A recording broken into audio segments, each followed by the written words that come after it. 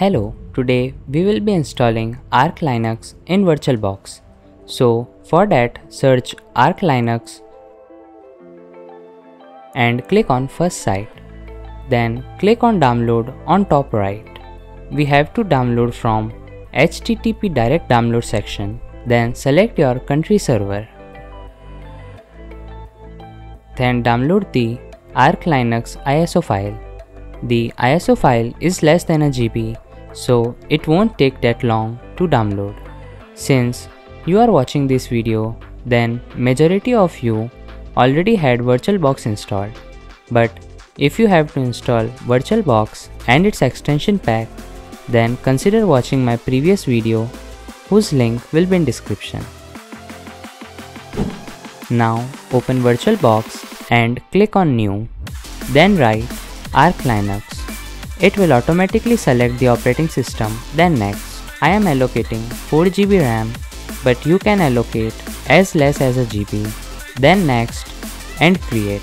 Select dynamically allocated and allocate disk space which you think is enough. Minimum is 8GB. Now machine is created and we have to change some settings. Go in system and uncheck floppy and enable EFI select more CPU cores for better performance. Now in storage, select the Arch Linux ISO file. Then OK and start the machine. Select any installation method. I am going with the first one. We have to write this command to start the installation. Then select language, location, etc. Enter root password if you want to enable root. You can select any desktop environment, kernels, etc.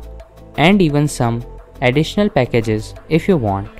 Now, one main setting is left that is selecting drive. Select the bigger drive to install Arch Linux which in my case is 32GB. Then select wipe all option and BTRFS partition. Now this should look like this. Then click on install and press enter.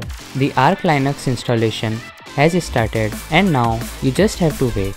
Make sure you are connected to internet as it will download some files.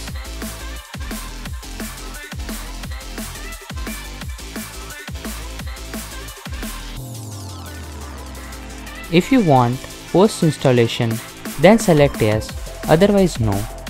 I am selecting yes, so I have to write some more commands before using Arch Linux. But you can select no and skip those steps. Now write the command shutdown now and then remove the Arch Linux ISO file and start the machine again. Select Arch Linux on start then you have to log in and default login is root and password is what you have set. Now you may have directly got to this screen. Then you just have to log in otherwise write commands to get to home screen. You will find all these commands in video description. This command will check if your internet is working or not. It's working so press Ctrl plus C to stop it. Then write this command to download Network Manager.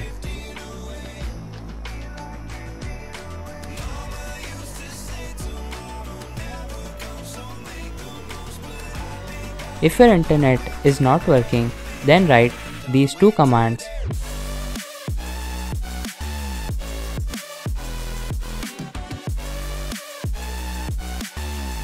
Then write nmtui to connect to Wi-Fi. This command will add user but ours is root and by this command we can change user password. You might find some other commands in description as well. Now write vi sudo but since it's not installed so we will install it by writing this command. Then again type vi sudo.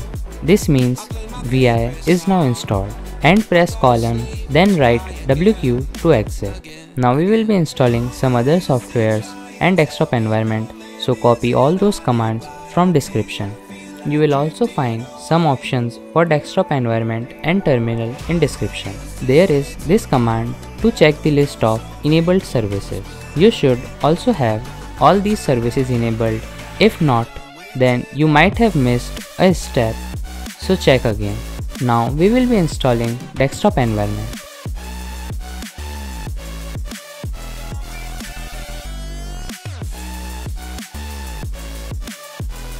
Finally, after all these commands, we are done and just write reboot then the system will restart. Now you will see a similar type of screen then login. I feel like it's pretty similar to other Linux operating systems. And this is the file manager, a minimize maximize button, some important options on top like start menu, date and time, battery, network, etc. We forgot to check browser, so let's open it and search YouTube. Internet is working fine. Now let's quickly check some system information. Our desktop environment is XFCE and its version, then other information as well. So this is it, complete Arch Linux installation in VirtualBox. Thanks for watching.